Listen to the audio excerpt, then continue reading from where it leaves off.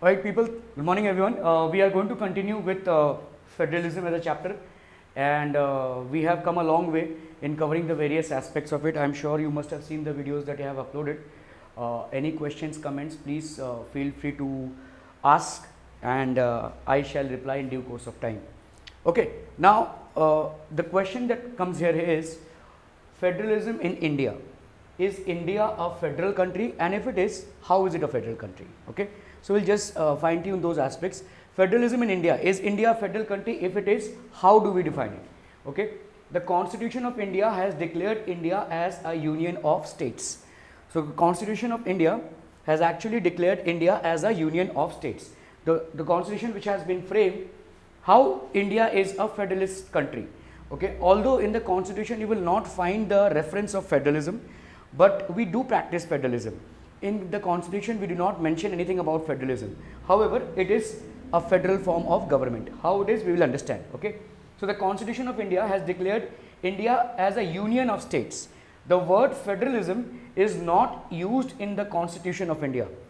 In the constitution that is written for India, the word federalism has not been used. So is still India a federalist country? Yes, it is. Okay.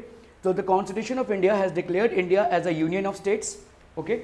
And the word federalism is not used in the constitution of India. However, the Indian Union is based on the principles of federation.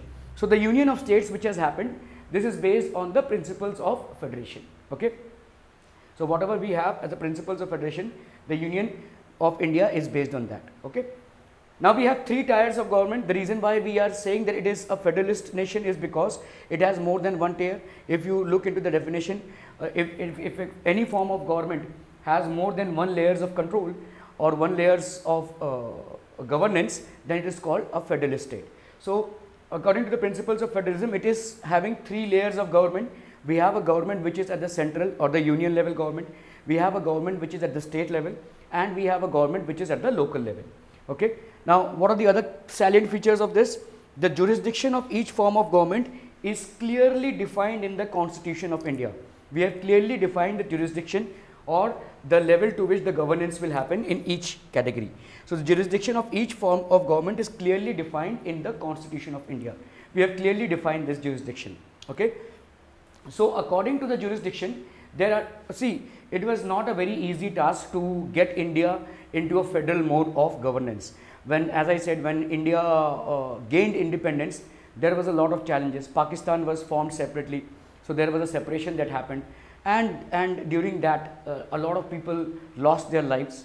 It is one of the, it's estimated that uh, fighting with the British, not much of Indians lost their lives as fighting after the independence. Okay, so a lot of people actually lost their lives in partitions that happened. Again, uh, we had a challenge of uh, who stays in India and who goes to Pakistan and from vice versa. Uh, the second thing is uh, there were a lot of uh, princely states who were not uh, ready to give their dominance or merge with India as a country. So there were a lot of things that happened although the constitution was framed but the execution of constitution had not happened immediately.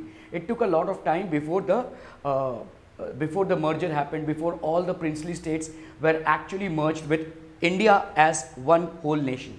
Okay. So, these were uh, certain things that were there and hence uh, since constitution has not defined federalism as a form of government in India, although in practice we are actually following federation. Okay. So, in some places uh, we call this form of government uh, in India as quasi federal okay or we can also call it as pseudo federal so these are certain terminologies which are used for India in specific. Okay, sometimes it is called as quasi-federal or sometimes it is called as pseudo-federal. The reason why it is known by these names is because uh, in constitution uh, the divisions or the working has not uh, been specified as per the federal state. However, in practice we do see that there is a lot of influence of federalism form of government. Okay, so there are different lists and these lists are basically specifying the functions of all the forms of government that we have central state and local government okay so all these things are clearly specified in the different lists that we have so we'll go by the list one by one we will see what is the jurisdiction and what are the examples of uh, governance in those things So the first thing that comes in here is union list.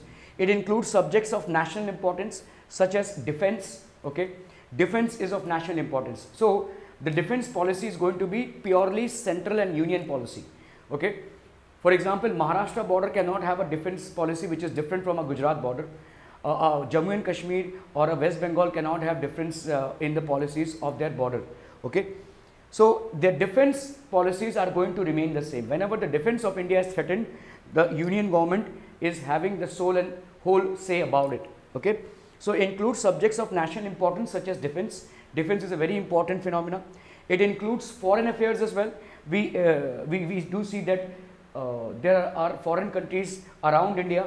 Of course, uh, we need to maintain relationships with all of them, uh, not only around India but far away countries as well. Okay, so that is basically foreign affairs and the union government decides on the policies of foreign affairs. Okay, uh, the state governments or the local governments cannot decide on them. They can give suggestions, but they cannot decide on them. So whatever is framed as foreign affairs will be applicable uh, across India to all the states. Whatever policies are framed as per defense, it will be applicable across all the states. Okay, banking banking again is a very uh, a dynamic thing. This is closely related to our economy.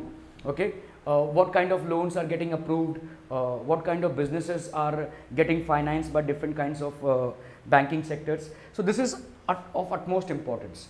Okay, and hence it is very important that banking is taken as a union list. It comes under union list. Whatever laws are there, they will be applicable to all the banks. So a bank in Maharashtra or a bank in Gujarat cannot have different policies of working. Okay, it will be central. This is central policy. The RBI decides on the uh, uh, the most of the factors and it is centrally co controlled. Okay, currency. The currencies that we are using are the, going to remain the same. So the value of money that you get for a certain good or services that you are producing it's going to remain the same all over India. Your currency value will not change if you go from one state to another.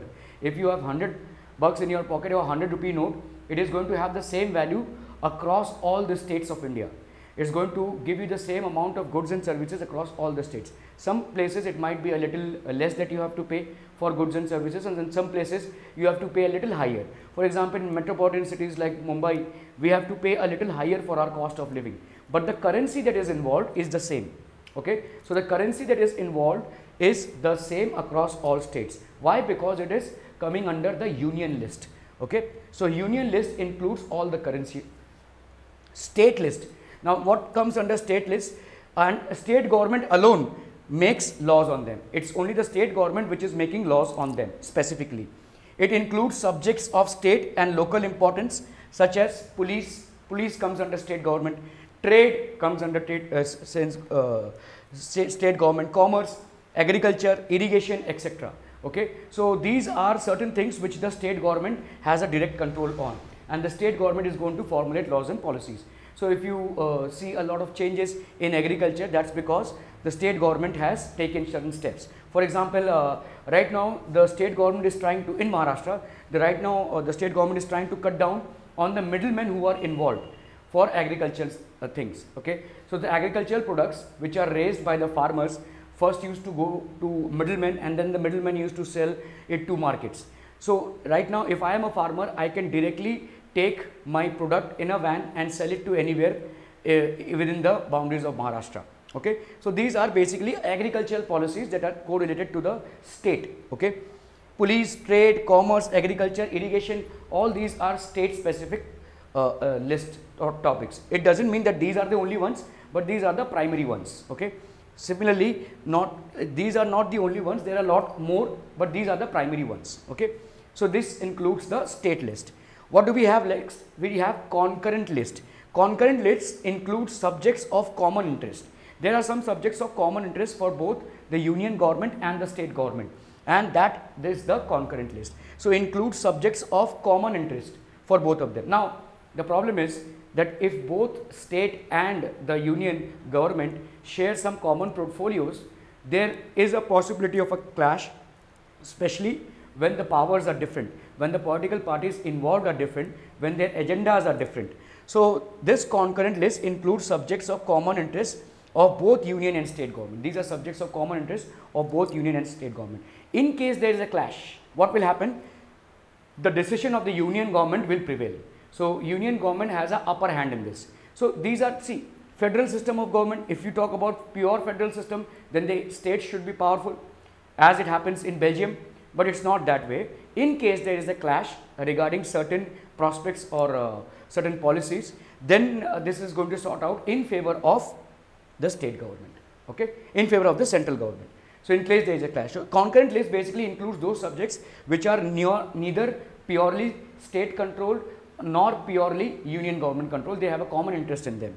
This includes education, okay. So, let us say a Maharashtra board has a certain education system, Kerala board has a certain education system, but uh, they have to ensure that they are in close link with the central board of India, okay, for education. So, it does not mean that they run their own curriculum which is far off from what is being taught at the central level, okay. So, they have to ensure that these things are there.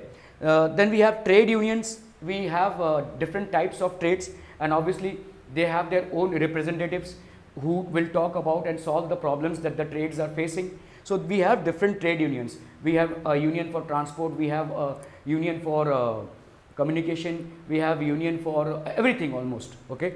So, all these are basically unions which are trade unions. They come under the concurrent list. Okay.